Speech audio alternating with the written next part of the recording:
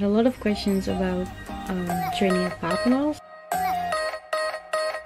Only like gold medals. Facts.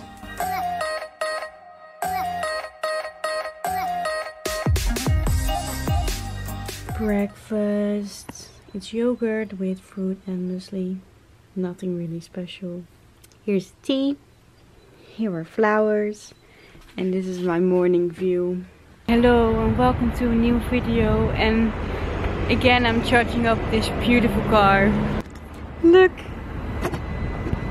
Welcome back to this new vlog. I'm happy that you're back and I, I must admit I really enjoyed the comments on our previous vlog. I love to read all, all of it and the fact that people are were so happy for Lisanne and the whole team at the European so it was really fun to read. So keep doing that because I love it. This vlog will be all about the last week um, at Papendal and for Lisanne in Hilo because next weekend we are going on training camp in Turkey, in Belek. Yep, 120 days until the Olympics. It's getting so close right now. And um, this is for me already the fourth week I'm back at training of the indoors. Um, most people of the group obviously went to the Europeans but I started two weeks earlier than them. I also gonna answer some questions about Papendal because I asked that on Instagram because I saw a lot of uh, comments uh, under the videos and in my DMs about it so I will answer that later. But first, training. Good morning!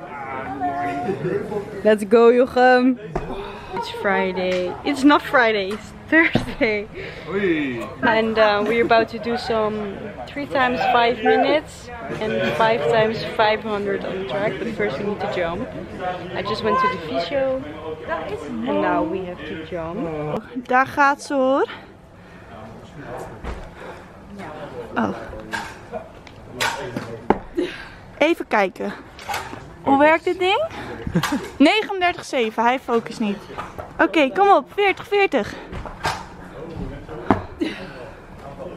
40, 1. Ja. Oké, kom op. Die laatste zat zoek. Nee, het is... eh Du, du, du, du.